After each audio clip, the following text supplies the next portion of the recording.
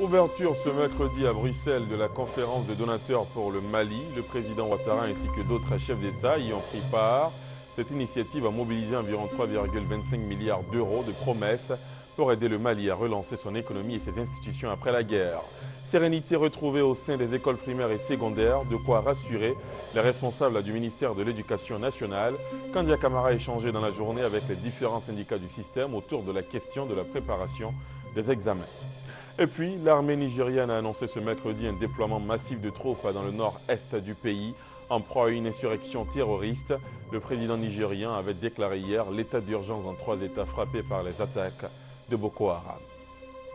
Voilà pour les principaux titres. Il est bien 20h à Abidjan et partout en Côte d'Ivoire. Bonsoir à tous et bienvenue. Le chef de l'État ivoirien est depuis hier à Bruxelles, en Belgique. Le président Ouattara ainsi que d'autres chefs d'État y ont pris part ce mercredi à l'ouverture d'une conférence de donateurs pour le Mali. Cette initiative a mobilisé aujourd'hui environ 3,25 milliards d'euros de promesses pour aider le Mali à relancer son économie et ses institutions après la guerre. L'annonce a été faite par le président français François Hollande. Ce montant est supérieur aux objectifs des organisateurs de la conférence, que sont l'Union européenne, la France et le Mali, qui ambitionnaient de lever 1,96 milliard d'euros, soit 45% du budget de 4,34 milliards du plan pour la relance durable du Mali 2013 à 2014, le président malien Dioncounda Traoré a chaleureusement remercié les 108 pays et institutions ayant participé à la conférence. Je vous propose d'écouter un extrait du discours du président ivoirien à la tribune de cette conférence de donateurs. Euh, c'est avec plaisir que nous participons à cette conférence destinée à consolider les bases de la sortie de crise au Mali et à reconstruire euh, durablement l'économie euh, de ce pays frère. Je voudrais féliciter la France, l'Union européenne et le Mali, ainsi que l'ensemble des partenaires qui ont contribué à la réalisation de cette euh, importante rencontre. Je voudrais également féliciter le gouvernement malien, et notamment le président Dioncounda Traoré, pour la qualité du plan pour une relance durable pour le niveau de l'apport national malien envisagé, mais aussi pour le mécanisme de suivi-évaluation qui renforce la crédibilité du processus en cours. Grâce au soutien et à l'engagement de tous aux côtés du Mali, je suis convaincu que nous parviendrons à répondre aux besoins exprimés par le gouvernement malien. C'est pourquoi nous devons nous donner les moyens de rendre irréversible les résultats de l'action militaire et de stabilisation et de permettre au gouvernement de tenir les échéances de sa feuille de route. Excellences, Mesdames et Messieurs, l'adoption de la résolution 2100 des Nations Unies marque un tournant dans l'engagement de la communauté internationale au Mali. Elle traduit aussi le retour progressif à la normale, renforce la probabilité de voir se tenir l'élection présidentielle en juillet prochain et l'accélération du processus euh, de réconciliation nationale. Ces dernières années, malheureusement, le Mali a été affecté par euh, le terrorisme, le trafic de drogue, la criminalité transfrontalière, la circulation et le trafic des armes. Le développement économique et social du Mali ainsi que la reconstruction de son outil de défense aideront à contenir l'expansion de ces menaces et à réduire le coût d'une guerre généralisée contre le terrorisme. La reconstruction et la paix au Mali dépendront de la capacité des États de la région sahélo-saharienne à faire face à la menace terroriste et aux menaces transnationales. Nous devons donc, dans les meilleurs délais, tirer les leçons de la crise malienne pour mieux préparer nos États et organisations régionales et sous-régionales à faire face à de telles situations. Nous devons développer une approche globale à la menace. Les réponses à apporter, nous investir dans la prévention et l'anticipation de situations analogues. La CDAO, pour sa part, est prête à mener cette réflexion avec euh, ses partenaires. J'appelle donc au soutien de la communauté internationale aux efforts de développement des États, de l'ensemble des États, au renforcement de leurs outils militaires et de défense, ainsi que de leur capacité de collecte et de partage euh, du renseignement. C'est à ce prix que nous protégerons nos États et que nous pourrons œuvrer à leur développement. Au lendemain de cette longue période de crise, où le Mali sort progressivement libéré et réunifié, le soutien de la communauté internationale est plus que jamais nécessaire. Il est donc impérieux de nous assurer que l'aide de nos partenaires au développement à ce pays frère soit adaptée à ses besoins du moment et conforme au plan de relance dont il s'est lui-même doté dans le cadre de sa feuille de route pour la transition. Je voudrais, pour terminer, réitérer nos remerciements à la France, à l'Union européenne, pour cette initiative très louable et à tous les partenaires qui ont fait des annonces de contribution au profit du Mali et des Maliens. Outre cette rencontre de mobilisation de fonds pour le Mali, toujours sur place dans la capitale belge, le président Ouattara a échangé ce mercredi avec le vice-premier ministre belge et le directeur général de la Banque mondiale. Le témoignage d'Awatoré. Le procès verbal de l'échange des instruments de ratification de l'accord de promotion et de protection des investissements entre la Côte d'Ivoire et le Royaume de Belgique a été signé au cours du petit déjeuner de travail que le président de la République Alassane Ouattara a eu avec le vice-premier ministre, ministre des Affaires étrangères belge signé en 1999 à Bruxelles et ratifié par le président Alassane Ouattara le 13 février 2013, cet accord entre en vigueur un mois après l'échange des instruments de ratification ce mercredi 15 mai. Pour redémarrer donc cette logique d'investissement, une mission économique des trois régions belges va se rendre euh, très prochainement en Côte d'Ivoire. La Belgique qui est très active dans le secteur portuaire avec notamment des investissements au terminal minéralier du port d'Abidjan. On souhaiterait d'ailleurs pouvoir développer des activités dans l'infrastructure, ce qui est une des possibilités en, Côte d'Ivoire aujourd'hui. Et comme je le disais à, M. le Président, nous serions soucieux d'aider la Côte d'Ivoire à rentrer dans le processus de Kimberley en matière de diamants, puisque évidemment la place d'Anvers est la première place mondiale dans le secteur du, diamant. Mais ce qui est important, à travers des accords comme ceux de protection des investissements, c'est de pouvoir rassurer de nouveaux investisseurs, leur dire euh, si vous venez, il y a des programmes, il y a des programmes de financement qui sont en place maintenant en Côte d'Ivoire et qui vous permettent dès lors d'être présents. Mais par exemple, nous en parlions à l'instant, le secteur de l'infrastructure est un secteur dans lequel on souhaiterait pouvoir prendre pied. Il y a des infrastructures routières qui sont en train de, se développer, sur lesquelles on, pourrait travailler. Et puis au-delà de cela, je sais qu'il y a des besoins importants dans les développements d'activités dans le secteur de l'énergie. Et là aussi, il y a des possibilités plus en matière d'études ou dans des domaines spécifiques comme par exemple le gaz liquéfié. Le président de la République a aussi échangé avec la directrice générale de la Banque mondiale. L'occasion pour elle de faire avec le chef de l'État le point de tout ce qui a été prévu en matière d'accompagnement de la Côte d'Ivoire.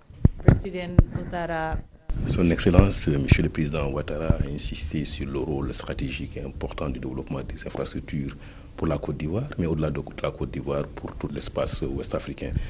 Donc, euh, toutes les initiatives qui vont être soutenues au niveau de la Côte d'Ivoire doivent aussi contribuer à accompagner la création de plus de richesses au niveau de l'Afrique de l'Ouest de façon générale, mais également de pousser l'agenda de la croissance et du développement. La Côte d'Ivoire est le premier pays en Afrique que le président de la Banque mondiale, Kim Jin, a visité. La Côte d'Ivoire, qui, selon la directrice générale de la Banque mondiale, joue un rôle stratégique dans la sous-région ouest-africaine. On s'intéresse à présent au FAD, le Fonds africain de développement. Il est destiné à renforcer la croissance économique et à réduire la pauvreté dans les pays membres régionaux. Le FAD est un guichet de prêt du groupe de la BAD, Banque africaine de développement. Un atelier s'est tenu hier à l'Hôtel Ivoire pour la reconstitution du FAD, dans la ligne de mire, entre autres objectifs, donner une visibilité sur les résultats du FAD. Le point avec Chantal Akanda. Les besoins de développement de l'Afrique sont immenses. Le FAD, Fonds africain de développement, a été créé il y a 40 ans. Ce fonds est un guichet concessionnel du groupe de la BAD. Le FAD accorde beaucoup de facilités et aussi des dons non remboursables aux États africains fragilisés par les crises. Les gouverneurs du FAD et les ministres du Plan et des Finances de six pays se sont réunis pour examiner et tomber d'accord sur les nouvelles orientations du FAD 13. Nous espérons, n'est-ce pas, sensibiliser euh, nos bailleurs de fonds, n'est-ce pas, sur l'importance de ce fonds et sur les résultats jusqu'ici obtenus par ces fonds et les changements euh, que les investissements faits à travers ce fonds, n'est-ce pas, euh, ces changements qui doivent être visibles au jour le jour. Les priorités seront l'infrastructure, l'intégration régionale, euh, l'emploi des jeunes, l'inclusion en général. En Côte d'Ivoire, le bilan du FAD est jugé positif. Nous avons bénéficié de presque 40 milliards de soutien dans divers secteurs. Le projet PIA-MCS euh, qui était basé à la primature, euh, qui soutenait donc un certain nombre d'activités dans les zones CNO a été financé euh, par le FAD. Et nous avons également payé des arriérés importants grâce au FAD.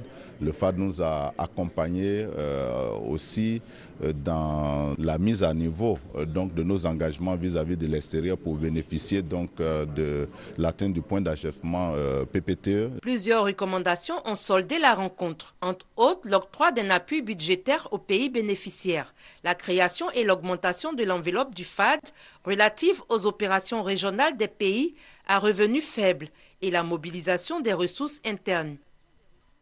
Les domiciles, immeubles et autres sites publics ou privés occupés depuis la crise post-électorale seront libérés d'ici le terme de l'année 2013. L'annonce a été faite par le ministre en charge de la Défense, Paul Kofi Kofi, au cours d'une rencontre qu'il a présidée il y a quelques jours à son cabinet, Marie-Laure Ngora. Les domiciles, immeubles et autres sites publics ou privés occupés depuis la crise post-électorale par les ex-combattants ou les démobilisés seront libérés d'ici la fin de l'année 2013. Le ministre en charge de la Défense, Paul Kofi Kofi, a donné cette information au cours d'une rencontre tenue à son cabinet. Une rencontre pour lancer officiellement l'opération de libération des sites illégalement occupés. L'objectif de l'opération, c'est donc d'identifier tous ces sites, ces lieux, en faire euh, une typologie et puis mener des opérations de déguerpissement. Naturellement, nous allons axer le travail sur la sensibilisation, la communication, afin que cela puisse se faire tranquillement, sans accroc. Et dès lors que la, cette période de sensibilisation sera passée, évidemment, nous serons obligés de, le faire euh, en utilisant la force légale. Le ministre Paul Kofi Kofi a également indiqué qu'un atelier sera organisé dans les prochains jours avec les différents acteurs afin de préparer le plan d'action de cette opération qui sera menée avant la fin de l'année. En bref, aujourd'hui 15 mai est célébrée la journée internationale de la famille. Elle a été instituée en 1993. Cette commémoration vise la sensibilisation de la communauté internationale aux problèmes que connaissent les familles dans le monde. Les familles face aux défis de la Côte d'Ivoire, réconciliée et émergente à l'horizon 2020. Tel est le thème qui a été choisi ici à Abidjan. Autre sujet, cette sérénité retrouvée au sein des écoles primaires et secondaires. De quoi rassurer les responsables du ministère de l'Éducation nationale après les dernières perturbations causées par les récentes grèves des enseignants? La ministre Candia Camara a reçu aujourd'hui les différents syndicats du système. La rencontre a permis de faire le point de l'année écoulée et a aussi été l'occasion pour elle de mobiliser tous les acteurs à la veille des examens de fin d'année. L'éclairage est signé Evelyne Debazekwa. Préparer efficacement les élèves et se tenir prêts pour l'organisation et la réussite des examens de fin d'année qui débutent le 28 mai avec le CPE et l'entrée en sixième. C'est le message principal de la ministre de l'Éducation nationale et de l'enseignement technique au syndicat du système éducatif. Il s'est agi au cours de cette rencontre de faire le point de l'année scolaire écoulée après les dernières perturbations dues aux grèves. Candia Camara s'est félicitée du retour à la sérénité au sein de l'enseignement primaire et secondaire. Elle souhaite que tous les candidats aux examens à grand tirage composent avec le même niveau. Depuis la reprise, euh, les informations qui nous sont parvenues disent que les enseignants sont en train de faire le maximum pour pouvoir rattraper les cours euh, perdus. Donc, euh, la semaine dernière, nous étions à 75% pour le primaire, 85% pour le secondaire. Mais j'ai demandé que nous puissions avoir un taux d'exécution de 100%. Les responsables syndicaux se sont engagés aux côtés de Kandia Kamara après avoir manifesté quelques inquiétudes quant aux dispositions pratiques à prendre pour l'implication effective et efficace de tous les acteurs du système éducatif. Priorité est donc donnée à l'achèvement des programmes et à la mobilisation du personnel éducatif pour une école qui renoue avec de bons résultats. En plus de la chaîne qui rassemble, les habitants de la Côte d'Ivoire profonde auront un autre regard. Désormais, la deuxième chaîne de la télévision publique ivoirienne, RTI2, s'étend à tous les téléspectateurs sur toute l'étendue du territoire national. C'est le fruit d'une convention signée hier entre l'opérateur de satellite Intelsat et le groupe RTI Doigt des Lasers. La deuxième chaîne de la radiodiffusion télévision ivoirienne, RTI2, sera désormais vue dans tous les foyers domestiques de la Côte d'Ivoire. Cette ambition des dirigeants de la chaîne nationale est devenue une réalité. Le directeur général de la RTI, Lazare Akassaye, et Ben Rodney, vice-président d'Etelsat, société de fourniture de satellites, ont signé au nom de ces deux entreprises une convention de partenariat. Pour Lazare Akassaye, cet engagement est une réponse à la promesse faite aux millions de téléspectateurs nationaux et internationaux. En mettant RTI2 aujourd'hui sur ce bouquet africain, eh bien, je pense que nous avons fait un pas important. Et c'est grâce à vous, grâce à votre compréhension, parce que vous avez permis que la RTI, notamment la radio et la télévision, soient visibles et audibles à travers le monde entier. Le vice-président de la société Eutelsat, Ben Rodney, entend tout mettre en œuvre pour la bonne marche de ce partenariat à la satisfaction des téléspectateurs. Pour nous, il est très important d'offrir un service de très bonne qualité. Euh, s'il y a n'importe quel problème, que ce soit le dimanche ou euh, le jour de Noël ou le jour de l'an, vous nous appelez, on sera toujours avec, à vos côtés euh, on n'est pas ici pour vous donner de la capacité uniquement, mais c'est un mariage, c'est un accompagnement. Selon le directeur général adjoint chargé des techniques de la RTI, Benoît Adama Yeo, c'est un ouf de soulagement pour les Ivoiriens qui attendent de suivre les émissions de RTI 2 sur leur petit écran. Sur ce bouquet, vous avez toujours une petite parabole de 60 cm et puis un décodeur que vous achetez dans le, le commerce. Avec ces deux éléments, vous êtes capable de recevoir RTI 2 et là, il n'y a rien à payer. Euh, vous appelez un technicien, il cherche justement ce bouquet AB3, dès qu'il tombe dessus, il verra RTI2. Et donc, à partir de là, vous avez RTI2 en permanence. Le coût du contrat s'élève à 40 millions de francs CFA par an. En attendant que les installations des antennes émetteurs de fréquence de la RTI2 soient installées dans les grandes régions de la Côte d'Ivoire, les Ivoiriens devront utiliser les canaux de Telsat pour se divertir avec la deuxième chaîne de la télévision nationale, RTI 2. On parle maintenant santé. Selon des sources médicales ivoiriennes, près de 100 000 personnes sont sous traitement ARV. Pour une meilleure prise en charge de ces personnes, le Fonds mondial de la lutte contre le sida, la tuberculose et le paludisme vient de faire un, don d'équipements. Plusieurs laboratoires et autres centres de santé vont bénéficier de ces équipements. Le point avec la Ouattara. Ce sont quatre appareils de grande capacité et 74 appareils portatifs de dénombrement de globules blancs dans le sang qui ont été acquis au profit des centres hospitaliers universitaires et laboratoires ivoiriens. Ces équipements d'une valeur de plus de 668 millions de francs CFA vont aider à une prise en charge complète et réduire les délais de prise de décision de mise sous traitement antirétroviral de personnes vivant avec le VIH. Ce matériel est composé de deux types d'appareils. Il y a déjà les appareils de grande capacité qui sont destinés aux laboratoires de grande capacité, donc au niveau central, qui sont donc euh, les appareils de type face calibre qui permettent donc de faire la numération des cellules CD4, qui permet donc de déterminer l'éligibilité au traitement. Ensuite, vous avez des petits appareils qui sont des appareils portatifs, qui sont également des appareils qui permettent de faire la numération CD4, mais des appareils destinés aux structures en périphérie, parce que c'est des appareils euh, qui sont petits, qui n'occupent pas trop d'espace, donc pour les centres de santé qui n'ont pas de grandes il sera construit dans la commune d'Atekoubé. Le Centre international d'hémodialyse est une initiative de l'ONG Servir. Les travaux vont bientôt démarrer. La présidente fondatrice de l'ONG Servir, Henriette Konambedi, a visité le site hier. C'était en présence de Thérèse Tapeyoboué. Voici l'espace qui va abriter le Centre international d'hémodialyse de l'ONG Servir. Deux hectares offert par la mairie d'Atekoubé. Un centre de dialyse et de greffe de reins voulu par Henriette Konambédier, présidente de l'ONG Servir.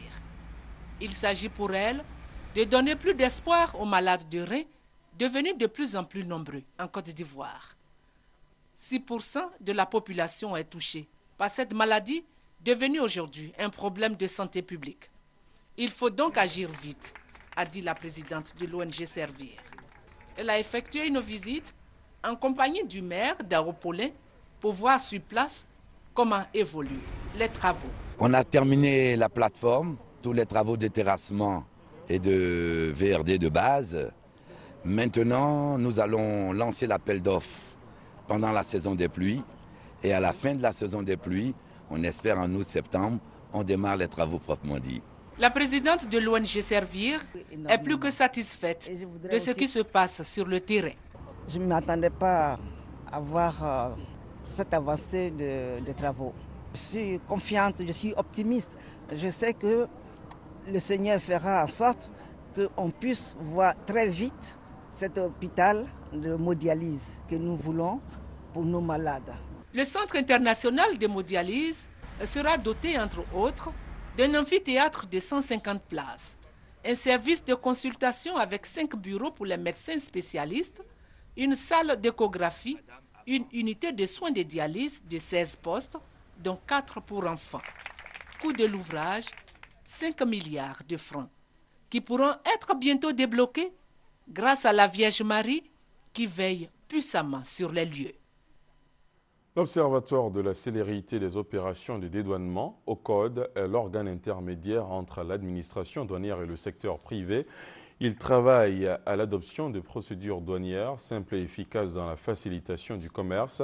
Les membres sont actuellement en formation dans le cadre du programme d'appui au commerce et à l'intégration régionale. C'est ce que nous dit Jean-Jacques Méala. L'Observatoire de la célérité des opérations de dédouanement en abrégé au Code, créé en 2004, a pour objectif, entre autres, de dénoncer tous les cas de blocage administratif liés au dédouanement et à la circulation des marchandises. Pour plus d'efficacité, neuf ans après, et dans le cadre du PASSIR, le programme d'appui au commerce et à l'intégration régionale, les membres de l'OCODE se forment.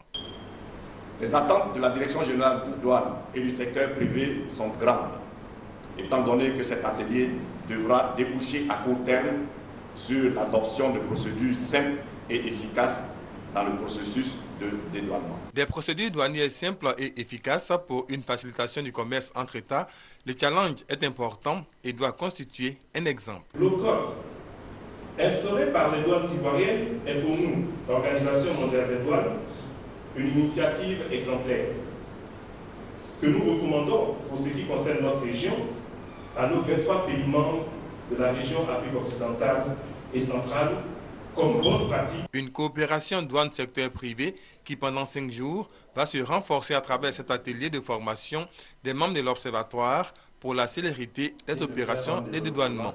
Cette formation est financée par l'Union européenne. Après 26 ans d'exercice, l'Académie régionale des sciences et techniques de la mer est consacrée pour son engagement dans une démarche à qualité avérée L'institution est désormais certifiée ISO 9001 version 2008.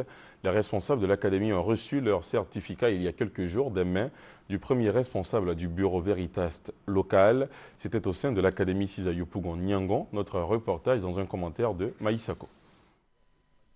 C'est la plus haute distinction décernée à une institution, la certification ISO. Au bout de plusieurs années de dur labeur, l'Académie régionale des sciences et techniques de la mer, installée depuis 26 ans à Abidjan, vient d'être certifiée ISO 9001-2008 par le Bureau Veritas, une consécration qui hisse l'Académie dans les rangs des structures les plus prestigieuses du monde en matière de performance et de respect des normes internationales requises. La cérémonie officielle de remise de cette certification a eu lieu au siège de l'institution à Yopougon Nyangon, occasion pour les différents intervenants, dont le président du conseil d'administration de l'ARSTM, Martin Parfait Emekoussoud Mavungu, par ailleurs ministre délégué chargé de la marine marchande du Congo, de féliciter l'équipe dirigeante de l'Académie et de rendre un hommage appuyé au gouvernement ivoirien. Au terme de quelques précisions, Bouyagui Diawara, directeur général de Bureau Veritas, a remis officiellement le certificat ISO 9001-2008 à Karim Koulibaly. Une reconnaissance mondiale qui, selon lui, impose désormais à la bénéficiaire d'être à l'écoute permanente de ses clients à qui elle doit garantir la qualité et la conformité de la formation. Un message semble-t-il bien perçu par Karim Koulibaly, directeur général de l'ARSTM. La performance, c'est d'abord pour nous d'avoir un bon plateau technique, une bonne formation, et donc revoir notre management, ces deux aspects-là qui vont nous amener vers la performance. Le représentant du ministre ivoirien des Transports, quant à lui, M. Soro, son directeur de cabinet, s'est félicité de la consécration de l'ARSTM. Cette reconnaissance internationale est le résultat de l'engagement de la direction générale de l'ARSTM dans une démarche qualité. Elle est la première institution de formation en Côte d'Ivoire à être certifiée ISO 9001-2008. L'actualité nationale aussi marquée par la décision de la Commission des relations extérieures de l'Assemblée nationale ivoirienne qui vient d'autoriser donc le président de la République à ratifier quatre conventions internationales. Elles portent sur la gestion des déchets dangereux et la conservation des ressources naturelles. En l'absence du ministre des Affaires étrangères, c'est le ministre de la Justice, Nienema Koulibaly, qui a exposé et soumis ces quatre conventions au Parlement. Les précisions de Victorine Yaoyobwe. Ayant en mémoire le déversement en 2006 des déchets toxiques dans le district d'Abidjan et les conséquences de cette catastrophe écologique sur les populations, les députés ont voulu en savoir davantage sur le contenu de ces conventions internationales, notamment la convention de Bâle censée contrôler les mouvements transfrontières de déchets dangereux. On peut retenir ceci. De ne pas recevoir des déchets dangereux ne l'empêche pas d'envoyer des déchets dangereux produits en Côte d'Ivoire pour traitement dans les pays développés ou tout autre pays en développement disposant d'installations appropriées. Au cours du débat, les parlementaires ont exprimé au commissaire du gouvernement le souhait d'avoir les ministres de l'Environnement, de la Santé et de l'Industrie à l'hémicycle pour répondre aux préoccupations des populations. En attendant ces explications, le projet de loi autorisant le président de la République à ratifier l'amendement à la Convention de Bâle sur le contrôle des mouvements transfrontières de déchets dangereux et de leur élimination est adopté à l'unanimité des membres présents de la Commission. La Commission des affaires extérieures a également donné l'autorisation pour la ratification du protocole de Nagoya sur l'accès aux ressources génétiques, de la Convention africaine sur la conservation des ressources naturelles et la dernière portant sur les statuts de l'Agence internationale pour les énergies renouvelables, IRENA. Il y a eu échange entre le ministre ivoirien des Eaux et Forêts, Mathieu Babo Daré, et l'ambassadeur de Suisse en Côte d'Ivoire, son Excellence David Volgel-Sanger. En toile de fond, l'aide que la République suisse apporte à la Côte d'Ivoire pour la réhabilitation du zoo d'Abidjan. Le point avec Patricia Omoetia. Réhabiliter le zoo d'Abidjan, améliorer le cadre de vie des animaux, renouveler le parc animalier et renforcer les capacités du personnel. Ce sont entre autres les informations qui ressortent des échanges entre le ministre des Eaux et Forêts, Mathieu Babo Daré, et l'ambassadeur de la Suisse en Côte d'Ivoire, son Excellence David Vogenzanger. Soucieux de préserver l'environnement et la faune, son Excellence David Vogenzanger s'engage à mettre à la disposition de la Côte d'Ivoire un expert en zoologie. Pour le diplomate, le zoo d'Abidjan a beaucoup de potentialités, mais est dans un état de dégradation avancé. Le zoo d'Abidjan est, à mon avis, aujourd'hui le seul moyen pour la grande majorité des jeunes Ivoiriens de se rendre compte de la richesse de leur nature, de leur faune, une richesse qui est gravement menacée. Il a des espèces qui sont en voie de disparition. Il a toujours des abus euh, en ce qui concerne euh, le braconnage. Le ministre des Eaux et Forêts a exprimé sa joie de voir cet espace revivre. Ces eaux-là régénérées euh, va retrouver donc son lustre d'antan et va nous produire son importance qu'il avait. on va donner la possibilité à la population ivoirienne de pouvoir renouer avec leurs visites quotidiennes en attendant d'être dans un environnement plus confortable, Cannes, l'éléphant né en 1992 lors de la Coupe d'Afrique des Nations, continue de faire le bonheur des visiteurs. Et puis, M. Soro Kigbafori Guillaume, président de l'Assemblée nationale, informe, mesdames et messieurs, Les députés que la cérémonie de lancement du programme d'appui de l'USAID SUNY à l'Assemblée nationale de Côte d'Ivoire aura lieu le jeudi 16 mai 2013 à partir de 14h30 à la salle des pas perdus du palais de l'Assemblée nationale.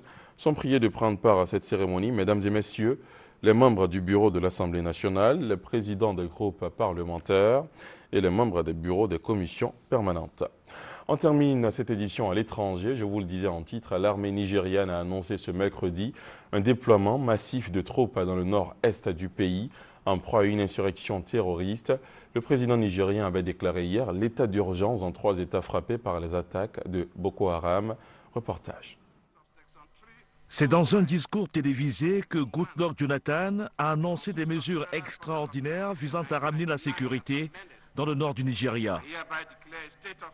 Je déclare l'état d'urgence dans les États de Borno, Yobe et Adamawa. Par conséquent, le chef d'état-major des armées est directement chargé de déployer immédiatement des renforts militaires dans ces États pour mener des opérations de sécurité intérieure. L'armée a aussitôt annoncé un déploiement massif dans les États de Borno, Yobe et Adamawa, en proie à des violences attribuées aux membres de la secte islamiste Boko Haram. Les dernières attaques perpétrées par ces extrémistes à Baga et à Bama ont été particulièrement meurtrières. Elles sont présentées comme une déclaration de guerre par le président nigérian.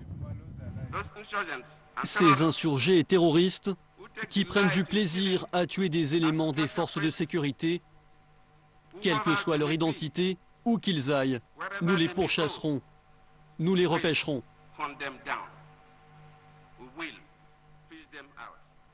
Peu importe ce que ça nécessite, nous gagnerons cette guerre contre la terreur. La réponse sécuritaire à la violence dans les États de Borno, Yobe et Adamawa risque de provoquer de nouvelles critiques à l'égard d'Abuja. Il y a quelques jours, Washington avait haussé le ton après la répression des membres de Boko Haram par l'armée. Et puis on vient de l'apprendre, le Bénin est en deuil, avec lui le monde artistique africain.